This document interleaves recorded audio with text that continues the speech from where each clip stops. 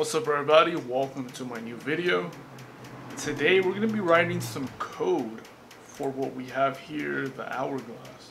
We have a tilt sensor. I'm not, I'm not too sure how the lights are supposed to move, but we're, we're about to find out. I'm following a tutorial, so here we are writing the code. Here we have some built-in code. So in this lesson you'll learn how to write code that lights up the LEDs at regular time intervals.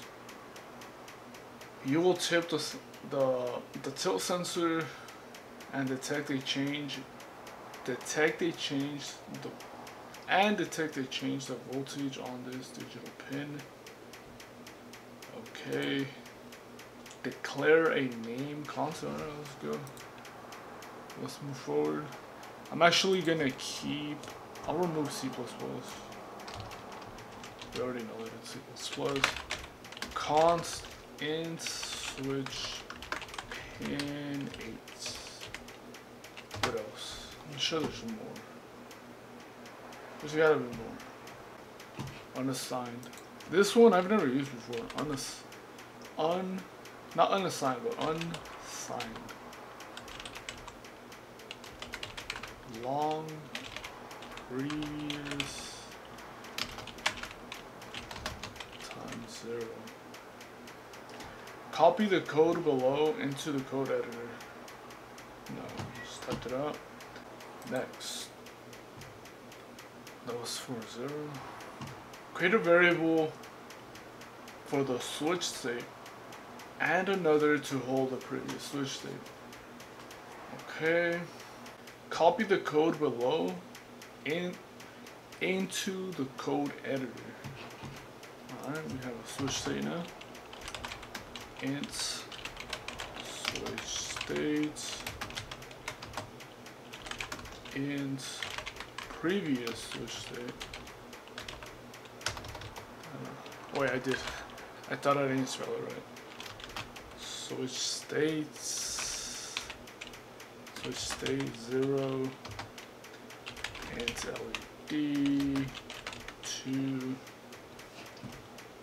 There it is. Continue to the next uh, two.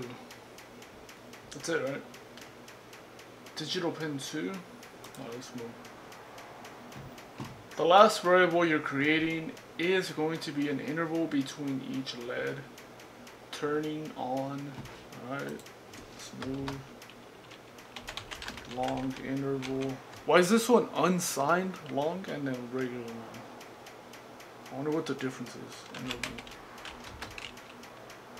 600k. In 10 minutes, the time between each LED turning 600,000 milliseconds. That's 10 minutes. Uh, copy the code below into the code editor. Copy the code below into the code editor. I did that already. Copy the code below onto the next one. In your setup, you need to declare LED pins 2 to 7. This is for pin oh, for setup. Okay. Declares all 6 as output with just 3 lines of code. In the pseudocode. Alright, so here we are. Alright. Let's go ahead and start. Actually, I think I might just need this one here. I'll leave that one. And then we'll just do a for loop. x equals 2. x less than 8. Almost like a JavaScript one. I haven't done JavaScript in a while. But here we are. pin mode. I'm still using pin mode, but I'm going to use X and output. And then I'm going to use another pin mode.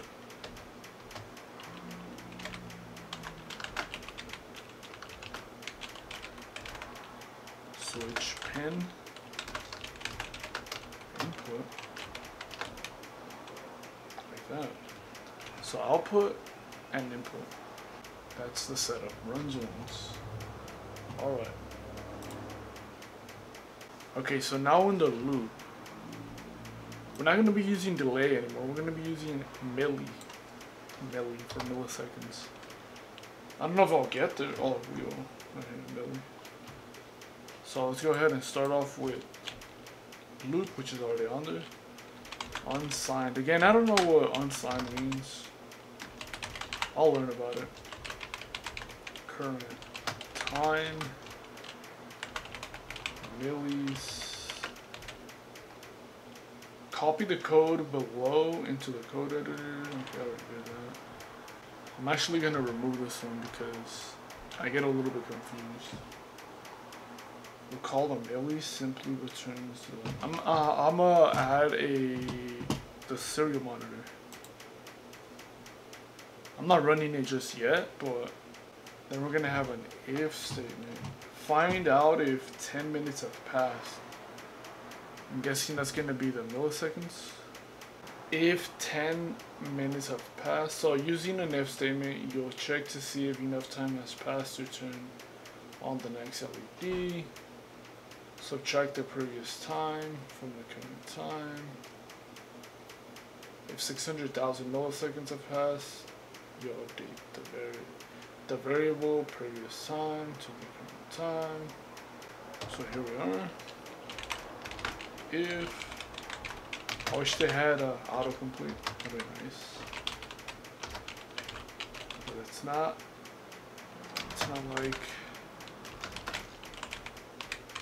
It's not like um, Xcode.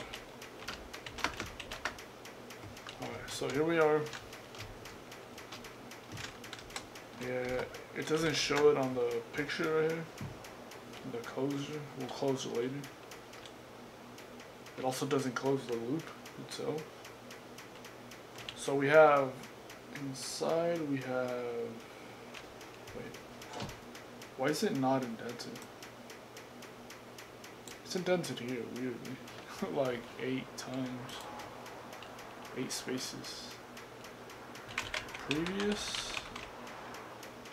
time and current time current two T's current time. Alright, we move. We move. Now we're gonna write um when previous time updates you'll also turn on the LED and increment the letter variable. So every is it every 10 minutes? Oh digital hourglass. So this is one hour right here. Why is there a tilt sensor? What does that have to do with it? Can't that just be ran off uh, off of code? I wonder what the tilt sensor's for. Guess we'll find out.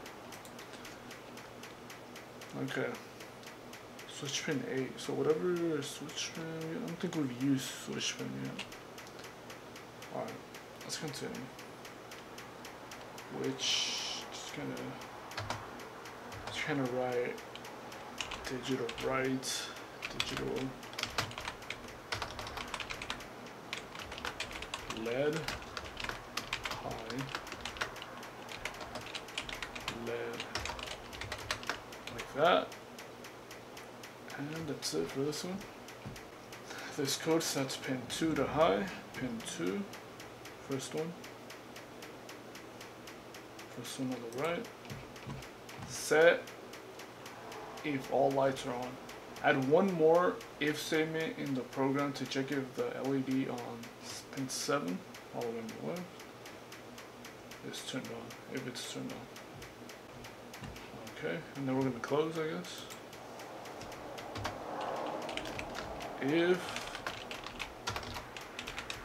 this is still part of the if lead. Wait, this one's this one? Why is it way out there? Why is it not matching with this here? Kind of weird, right? End of nested if. Like that. End of outer. Outer if. That's this one.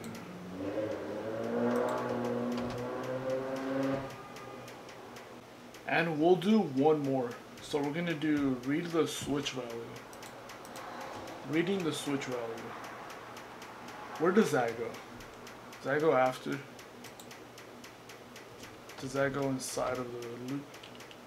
Now that you've checked the time, you'll want to see if the switch has changed its state in the meantime. Read the switch value.